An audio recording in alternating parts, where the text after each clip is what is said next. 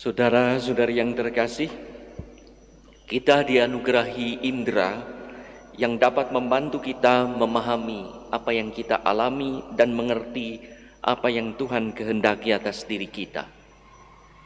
Maka wajarlah orang yang dapat melihat apa yang terjadi di sekelilingnya secara langsung akan lebih mudah mengerti apa maknanya dan bagaimana harus menanggapinya. Di situ indera kita berfungsi menjadi pintu yang mengantar kita pada iman. Perjumpaan fisik dengan Yesus menjadi jalan masuk pada iman dan kepercayaan. Itulah yang dialami oleh perempuan Samaria yang dikisahkan Yohanes 4 5 sampai dengan 42 yang berjumpa dan berbicara dengan Yesus di sumur dan tak lama kemudian percaya kepada Yesus bahkan pulang dengan penuh semangat mewartakan Yesus sebagai Mesias yang dinantikan sebagai Mesias yang menerima kelemahan-kelemahannya bukan menghakimi sebagai Mesias yang rahim. Hingga orang-orang di kota pun datang menjumpai Yesus dan berkata, "Kami percaya, tetapi bukan lagi karena apa yang kau katakan, wanita kepada wanita, sebab kami sendiri telah mendengar Dia, mendengar Yesus, dan kami tahu bahwa Dialah benar-benar juru selamat dunia." Perjumpaan mengantar pada kepercayaan.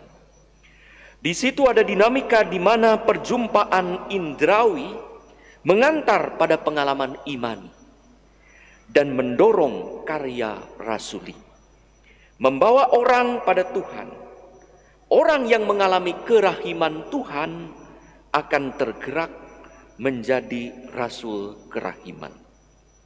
Saudara-saudari yang terkasih, Santa Faustina yang mengabdikan hati, budi, dan energinya setiap saat tanpa henti dan tanpa cuti pada kerahiman ilahi Yesus hingga mendapat karunia penampakan Yesus dan menerima wasiatnya untuk meneruskan warta kerahiman ini ke seluruh dunia dan memohonkan kerahiman Tuhan bagi seluruh dunia terutama bagi para pendosa melalui devosi kerahiman ilahi dan mengembangkan gerakan apostolik tentang kerahiman ilahi.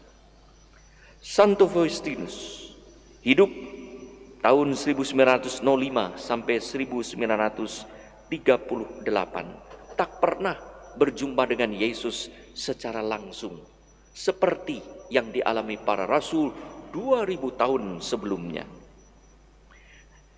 Tetapi percaya kepada Yesus, percaya kepada kerahimannya. Hingga pada tanggal 22 Februari 1931 mendapat penampakan Yesus sebagai Raja Kerahiman Ilahi.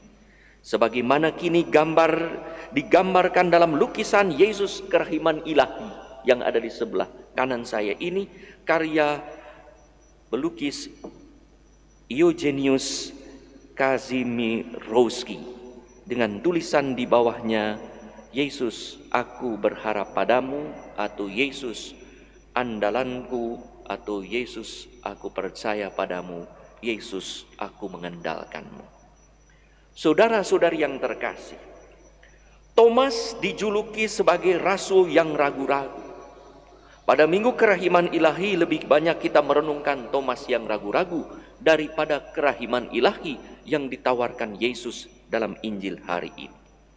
Maka kiranya kurang lengkap.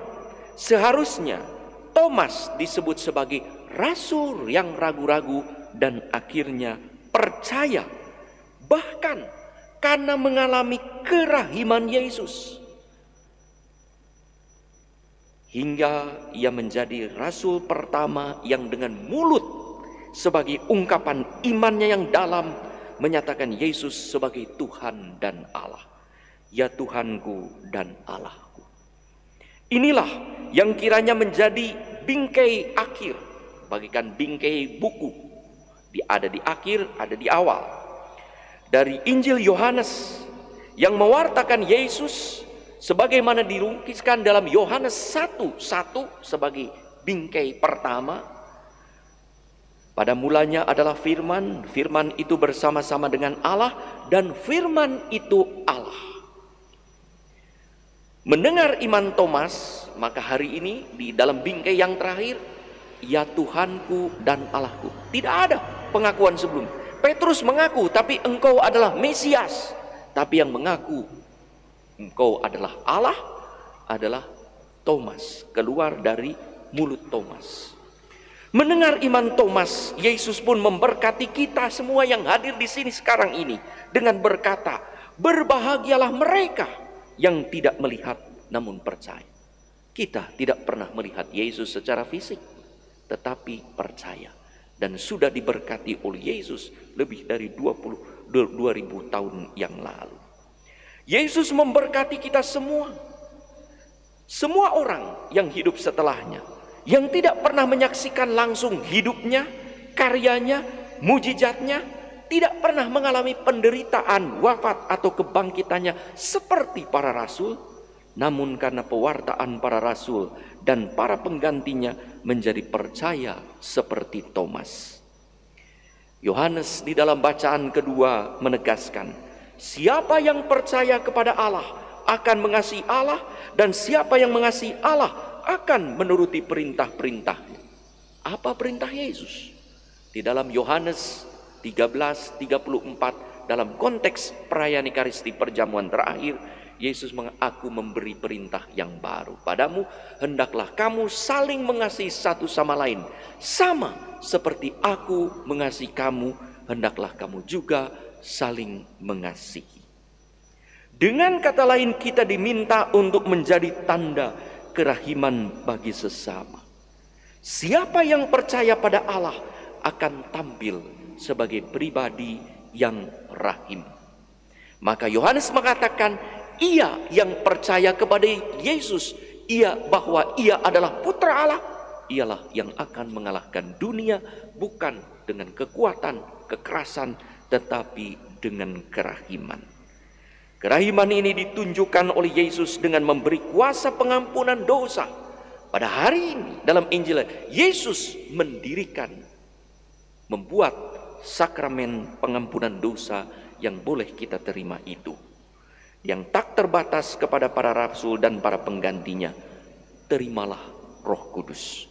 Jikalau kamu mengampuni dosa orang, dosanya diampuni Jikalau kamu menyatakan dosa orang tetap ada, dosanya tetap ada. Saudara-saudari yang terkasih, kita tidak hidup di zaman rasul, tetapi percaya. Banyak orang yang pada waktu itu melihat dan mendengar secara langsung. Bahkan menyaksikan mujizat-mujizatnya. Tetapi keterlaluan mereka tak percaya bahkan menyalibkan Yesus. Semoga kita yang diberkati oleh Yesus karena percaya sekalipun tak hidup sejamannya sungguh mengalami kehadirannya secara real dalam perayaan Ekaristi dan mengalami kerahimanannya juga dalam sakramen rekonsiliasi. Di sana kita bertemu dengan Yesus yang menyatakan kerahimannya dengan mengorbankan diri di atas salib dan dihadirkan kembali dalam perayaan Ekaristi dan memberikan diri kepada kita untuk keselamatan kita dengan mengampuni dosa kita melalui sakramen pengampunan dosa. Dalam buku harian Santa Faustina nomor 699 ditulis demikian.